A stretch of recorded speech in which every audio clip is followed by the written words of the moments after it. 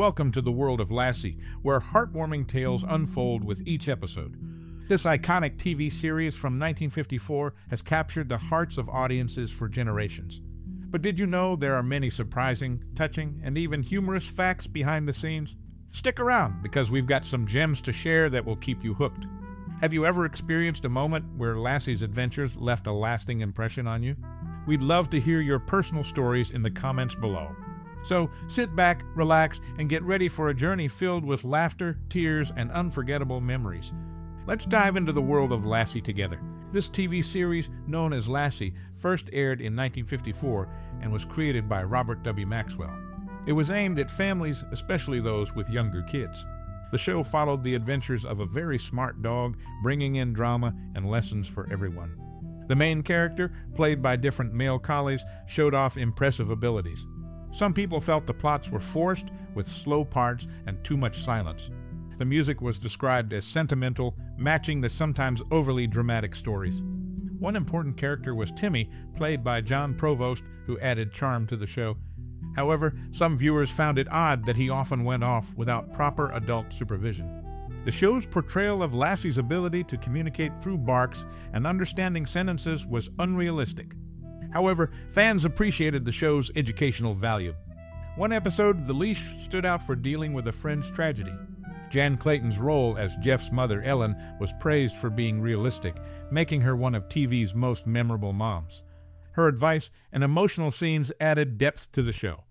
Overall, Lassie is an important part of TV history, offering entertainment and lessons. While opinions on its pace and storytelling vary, Jan Clayton's portrayal of a guiding mother leaves a lasting impression. In the history of TV, there's a cool story about how they picked the kid for the famous 1954 show. They had three finalists, so they let Lassie, the dog star, choose. She went to Tommy, licked him, and that was that. After seven seasons, the actor playing Timmy, Jon Provost, decided to quit because he was tired of the role.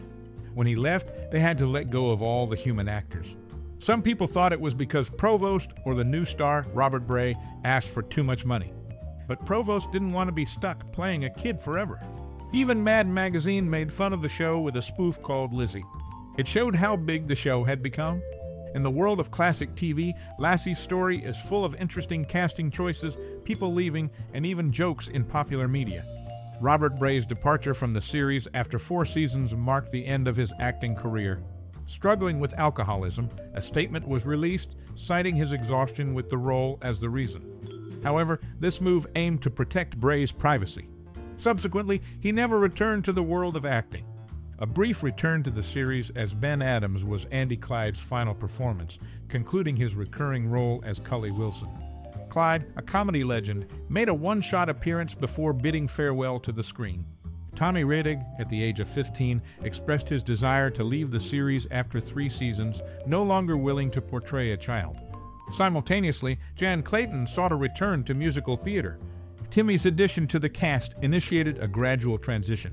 However, the sudden death of George Cleveland expedited the shift to a new cast. In summary, Robert Bray's departure, Andy Clyde's final appearance, and the cast transition involving Tommy Rettig and Jan Clayton marked notable phases in the series' evolution. Lassie, a famous dog, found her start with owner and trainer Rudd Weatherwax living a notable 19 year life. In the TV series, a key figure emerged, playing both the motherly role within the show and later portraying an adult version of Elizabeth Taylor's character from Lassie Come Home and the Son of Lassie. The original show featured the Miller family, with Tommy Rettig as Jeff, Jan Clayton as his mother Ellen, and George Cleveland as Gramps. The first two seasons won two consecutive Emmy Awards for Best Primetime Children's Show. However, as Rettig outgrew his role, he voluntarily left, leading to Timmy and his adoptive parents, the Martins, joining the series. The show's quality declined in the third season under new producers and the shift to the Martins, Despite this, Lassie's acting talent, embodied by the dog Pal Jr., remained crucial. Rudd Weatherwax, with his dog's Pal and Pal Jr., showcased excellent acting chemistry, shaping Lassie's lasting impact. While the show faced challenges with the change in cast and production, Lassie's popularity and acting skills, especially in celebrated Christmas episodes, kept it going strong. Lassie, an iconic television series that aired in the United States during prime time, was notable for maintaining its time slot and day of the week throughout its entire run. It transitioned to syndication for the final three years of its broadcast. The distinctive whistle theme, synonymous with the show, was introduced in the fifth season, while the initial four seasons featured a more traditional orchestral theme. Tommy Rettig, who had previously performed alongside Mary Martin in Annie Get Your Gun, was originally slated for stage roles like Peter Pan and the member of the wedding. However, upon Brandon de Wilde's rejection, Tommy's mother directed him towards a career in films, ultimately leading him to secure a role in Lassie. This series holds a significant place in television history for its consistent scheduling and memorable theme music, alongside the notable casting decisions that shaped its trajectory. In the TV series, the role of Lassie was first portrayed by Pal. Pal, the original Lassie, appeared in the pilot episode. He was succeeded by his grandson, Baby, who played the role for six years, making him the longest serving Lassie. Unfortunately, Baby passed away at the age of eight, making him the only Lassie to not live to the age of 17. During Jon Provost's tenure as the lead actor, earlier episodes starring Tommy Rettig were aired in daytime TV under the title Jeff's Collie. Similarly, when Provost left the series, his episodes were syndicated as Timmy and Lassie. Best remembered for her role as Timmy's mother on the TV series Lassie, she also starred as Maureen Robinson in Lost in Space. In 2009, the U.S. Postal Service issued a pane of 2044 cent commemorative postage stamps honoring early essay television programs, with one featuring the canine star of Lassie. Other shows honored included The Adventures of Ozzie and Harriet, Alfred Hitchcock Presents, and I Love Lucy.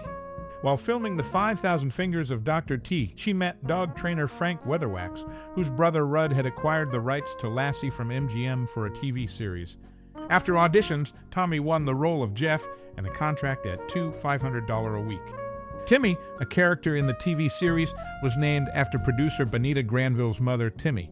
Despite many spoofs and misquotes, Timmy never required saving from falling down a well throughout the show's history. Ruth Martin was replaced by another actress, Cloris Leachman, at the beginning of the fifth season because Leachman was unhappy with her role. In the 1950s, a TV series called Lassie faced some big issues behind the scenes. One actor, Cloris Leachman, wasn't happy with her role and often clashed with the rest of the cast and crew. Eventually, both Leachman and Jon Shepodd were replaced by June Lockhart and Hugh Reilly. In the USA, the annual airing of The Wizard of Oz on CBS regularly knocked Lassie off the air on Sunday evenings from 1959 to 1967. Interestingly, all the dogs playing the main character were actually male. They chose male dogs because female collies tend to shed a lot during their heat cycles. Also, using male dogs was thought to make the character look more imposing on screen. Despite these challenges, the show remains an important part of TV history.